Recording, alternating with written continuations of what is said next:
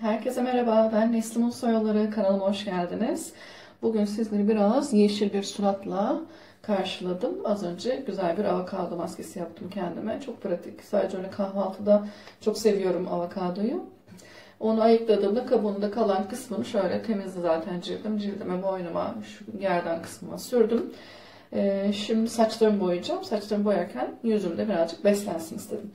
En son yaptığım bira maskesinden sonraki saçlarımın halini bir kez daha göstermek istiyorum. Hani size bahsettiğim e, su dalgası. iki gün oldu tabii ki yattım kalktım vesaire falan ama bakın hani böyle bebek dalgası gibi çok güzel bir dalga var saçlarımda. Ve saçlarımın genel hali böyle daha sakin, e, daha parlak ve nemli. E, hala denemediyseniz ya da o videoyu izlemediyseniz lütfen izleyin. Gerçekten faydalı ve güzel bir video oldu. Açıklamalar kısmına yazdım. Ee, sonradan video çok süresinden dolayı başka bir açıklama yaptırmadı. Üstüne yazamadım. O bira maskesini yaparken e, koyduğunuz su sıcak ya da ılık olabilir ama altına kısık ateşte açıyor olmanız çok önemli. Çünkü harlı ateşte kaynayan su içinde şişe Allah korusun patlayabilir. O riski göze almamak adına tedbirli davranın. Şimdi size daha önceki videolarımda bahsettiğim bu 7.40 ee, Garnier'ın e, amber bakırına saçlarımı boyayacağım. Epeydir biliyorsunuz boya yapmadım e, ama üzerine iki tane açıcı etki yaratan maske uygulamıştım. Bunlardan sonra bu amber bakırında nasıl etki edeceğini merak ediyorum. Şimdi hemen ben bunu hazırlayacağım. İçinden çıkanlar işte bir tane saç bakım kremi var banyo sonrası daha doğrusu yıkama esnasında. Tüpü var. Ee, ve işte bu şekilde bir oksidasyonu var. Eldiveni var ama benim daha önceden açtığım eldivenim vardı. Onlarla hemen şimdi hazırlıyorum. Normalde amber ya da bakır ya da kızıl boyadığımız boyalar böyle aslında kırmızı oluyor ama bu böyle krem renkli bir boya çıktı. Ben de şaşırdım. Bunu beklemiyordum çünkü ilk defa kullandığım bir marka. Hemen de solüsyonu da ekleyeyim. Bakalım nasıl bir renk olacak merak ediyorum.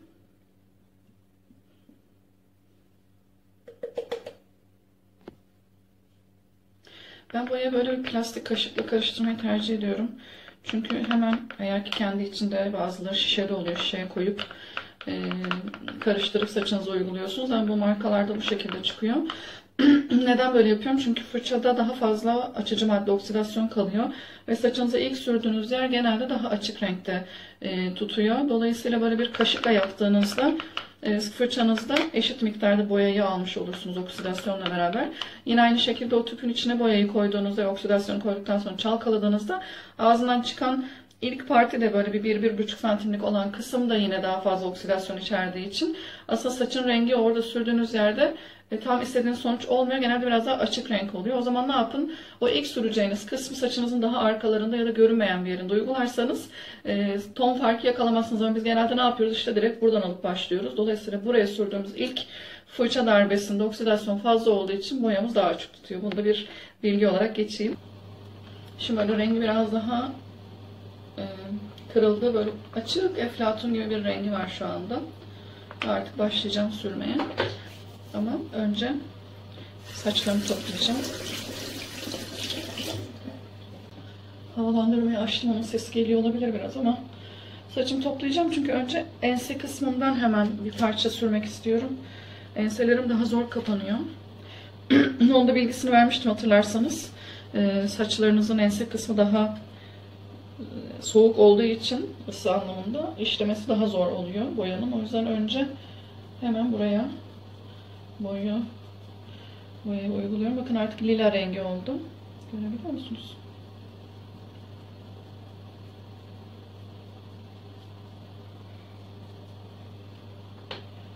Sonra da diğer bölgelerini boyuyor olacağım. Şu anda eldiven takmadım ama birazdan takacağım. İnşallah güzel bir renk olur. Ve tabii yeter çünkü ben bunu aldığımda saçlarım daha beyaz bile yoktu. Ama Sonra başka şeyler girdiği için araya, başka bakımlar falan denediğim için boya yapamadım. Artık diplerinden yettiği kadarını yapıp kalan da boylarına masaj falan yaparak yedirmeye çalışacağım.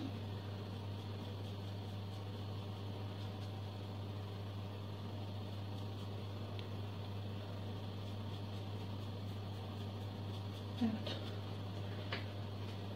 Şimdi hemen benim beyazlarım böyle alnıma da biraz ince ince tüyler olarak yayılıyor. O yüzden ben biraz taşırıyorum. Ama böyle krem falan da sürmüyorum. Hani sonra çıkartmak e, zor olur mu falan diye soruyorlar ama e, kontür çekmişsiniz gibi böyle bir iki gün hafif orada bir renk oluyor ama e, ona da çok takılmıyorum. Zaten sürekli yüzümüzü yıkadığımız için çok kısa sürede onlar oradan akıp gidiyor.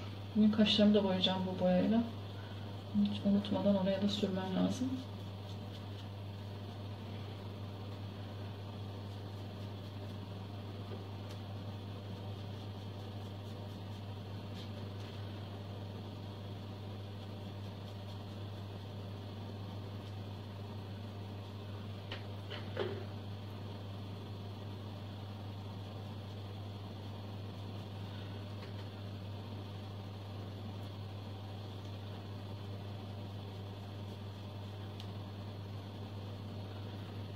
Aslında bir iki güne belki kınam da bana ulaşmış olur ama bir haftaya falan. Şu anda onu bekleyemeyeceğim artık. Son herhalde boya yapıyor oluşum olacak. Ondan sonra yine kınaya döneceğim. Evet bu böyle bitti. Ön kısmı. Şimdi şöyle ortaya da sürelim. Orta kısmı ben iki tarafa da sürüyorum. Çünkü en beyaz olan yer burası. Hani sürüp üstüne kapatarak genelde kuaförlerde boyuyorlar ama orta kısım çok önemli. Çünkü bütün beyazlar burada hemen kendini belli ediyor. Buraya o yüzden biraz daha torpil geçiyorum.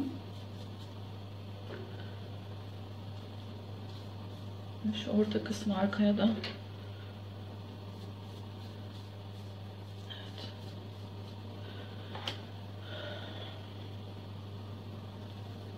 Şimdi artık elden takacağım. Hızlandırıp kısmı ondan sonra sessiz olarak yayınlarım. Şimdilik durduruyorum.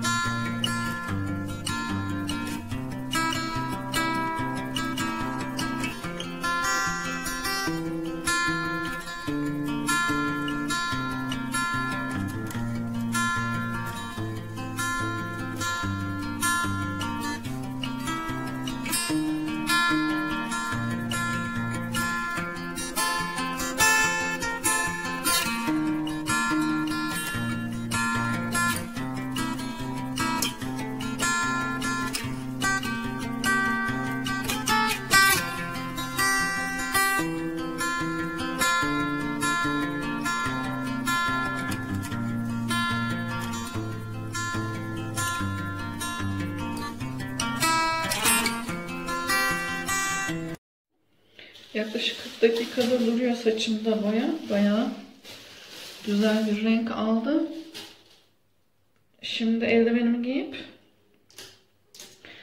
kalan yerlere de iyice yedirmeye çalışacağım ki hani eşit olarak saçımın diğer bölgelerine de kalan boyadan biraz yayabileyim ki ton farkı çok fazla olmasın.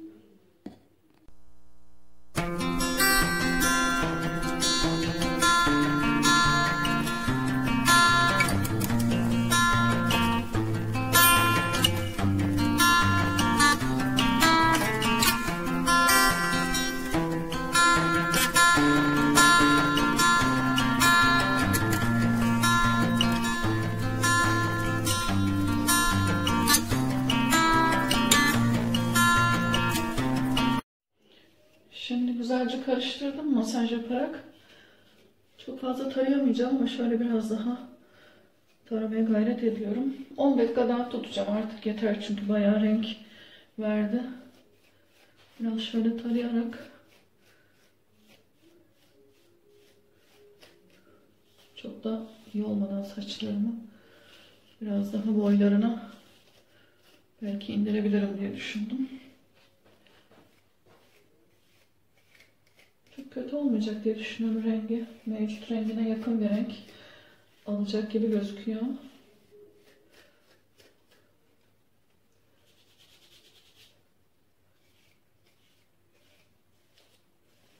Tamam artık böyle biraz 10 dakika daha tutup artık yıkayacağım. Son halini gösteririm size.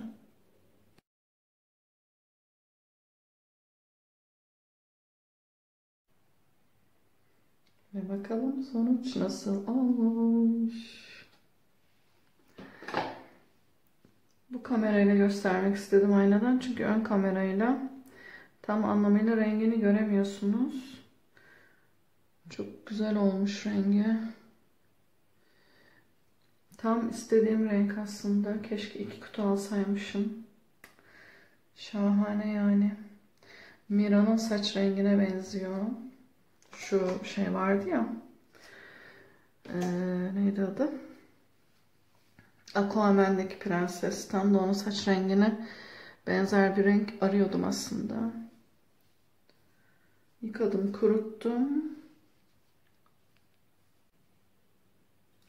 Çekim biraz farklı bir teknikle yapıyorum çünkü tam anlamıyla rengini ancak böyle aynadan görebiliyorsunuz. Işığın rengiyle beraber. Bakın çok güzel oldu. Tabii ki uçlarla dipler biraz fark yarattı ama ben iki kutu alsaydım burası daha iyi gözüküyor. Çünkü buraya biraz daha güzel galiba kalanını sürdüm. İki kutu aldığımda tam anlamıyla bütün her yer istediğim renk olabilirmiş. Ama yine de çok kötü değil. Ay, ay açıydı ha.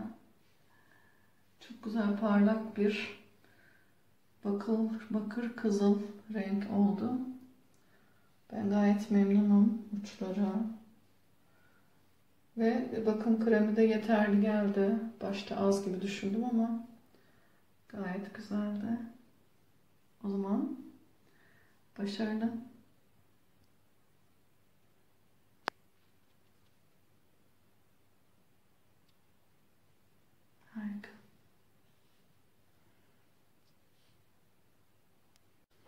Evet saçımın yıkandı, kurudu. Son hali bu şekilde. Rengi gayet güzel. Tam istediğim renk aslında. Böyle kızıl bakır. Gayet başarılı oldu. Tabii ki uçlarla diğer bölgeler, diplerle daha doğrusu boyları biraz ton farkı var. Şu taraf daha güzel. Ama iki kutu almış olsaydım tam anlamıyla her yer bu güzel rengi almış olacaktı. Neyse belki buradayken bir kez daha boyarım iki kutu alıp. Tamamen böyle homojen güzel bir renk olur. Şu Prenses Mira'nın saç rengine benzemiş. Çok beğendim. Evet. O zaman siz de deneyebilirsiniz. Gayet güzel, yumuşak şu anda. Bakım kremi iyi. Uçlar dalgası falan. Hala o bakım kürünün de etkisi var. Kendi kreminin de etkisi var. Şöyle baktığınızda hemen hemen aynı renk gibi. Hatta benim rengim daha bile güzel. Şöyle bakınca görebiliyor musunuz? Hemen hemen aynı. Hatta bu katalogdakiyle bile birebir gibi gözüküyor şu anda. Sonuç bence çok güzel.